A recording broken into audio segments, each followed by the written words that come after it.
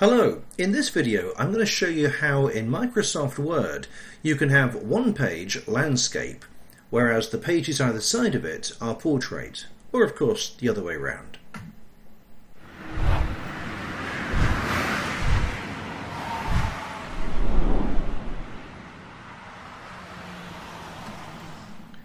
So you'll see here I have three page document and the second page I want to change to landscape.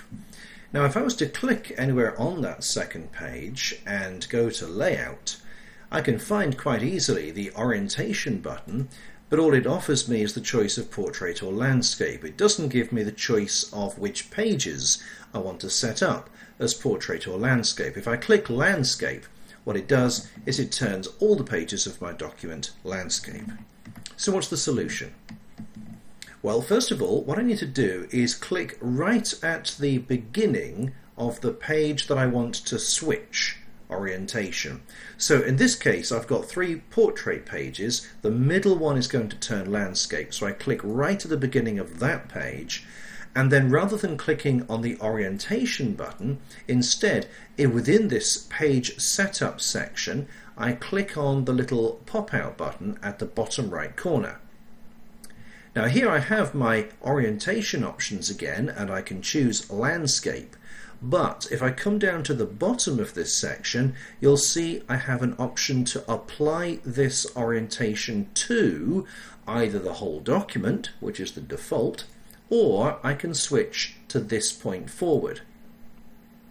So having changed that to this point forwards, I click OK, and you can see now that my first page is still portrait, my second page is now landscape, but of course it is from this point forwards. So what I have to do now is to click at the beginning of the next page, page 3, click right at the beginning of that and do the same process. So within the Layout tab, I click on the pop out at the bottom right corner of page setup just here.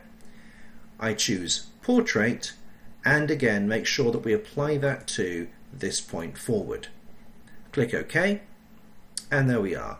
So we now have my center page my third uh, my second page horizontal or landscape whereas the pages either side of it are still set to portrait so I hope you found that uh, interesting and useful. If you did, please do give it a thumbs up. It does make a difference, as does subscribing. Um, that makes a difference to you. You are first to hear about the new videos as they come out, and it also makes a massive difference to us. So please do, and thank you very much if you already have done. And thank you very much for watching this video, and I will see you in the next one.